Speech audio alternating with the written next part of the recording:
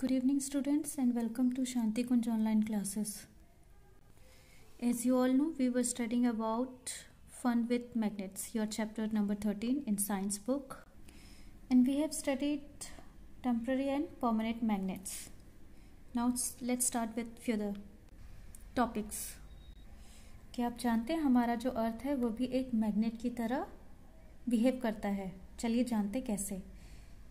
The earth as a huge magnet the earth behave as if a huge magnet lies inside it यानी कि एक बड़ा सा magnet हमारे पृथ्वी के अंदर है।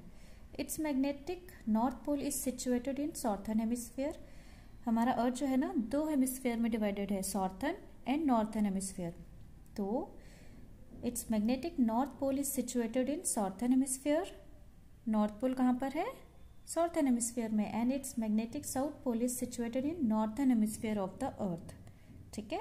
That mean its north pole behaves like the magnetic south pole बच्चों, ये इसलिए भी होता है क्योंकि ये माना गया है कि जो मैग्नेटिक मटेरियल है आयरन और निकल उसका मोमेंट जो है, उसके मोमेंट पे डिपेंड करता है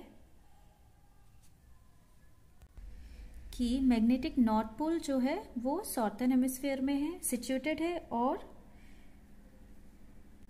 मैग्नेटिक साउथ पोल जो है वो नॉर्थन हेमिस्फीयर में सिचुएटेड है। अब जानते हैं डीमैग्नेटाइजेशन के बारे में। तो डीमैग्नेटाइजेशन होता क्या है? The losing of magnetism is called demagnetization. यानी कि जब कोई मटेरियल अपनी मैग्नेटिक प्रॉपर्टी को लूज करता है मैग्नेट जो है अपनी मैग्नेटिक प्रॉपर्टी को लूज करता है तो हम उसे डीमैग्नेटाइज्ड कहते हैं। मैग्नेट्स मेड आर्टिफिशियली, हम जानते हैं कि मैग्नेट्स जो है आर्टिफिशियली बनते हैं।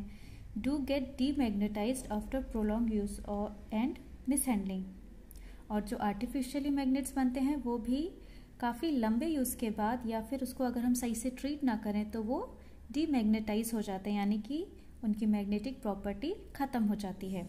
The different ways in which magnets lose magnetism are as follows.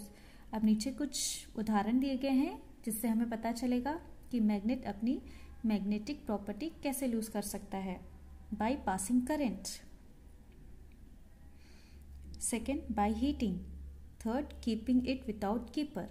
यानी कि अगर हम, हमारे पास जो मैग्नेट है उसके थ्रू करंट पास हो जाए। सेकेंडली, अगर हम उसे हीट कर दें और थर्डली हम बिना कीपर्स के रखें। आप यहाँ देख रहे हैं, ये मैग्नेट हैं और ये जो आप देख रहे हैं, इसको कीपर कहते हैं। यानी कि आपको उन्हें कवर करके रखना होगा।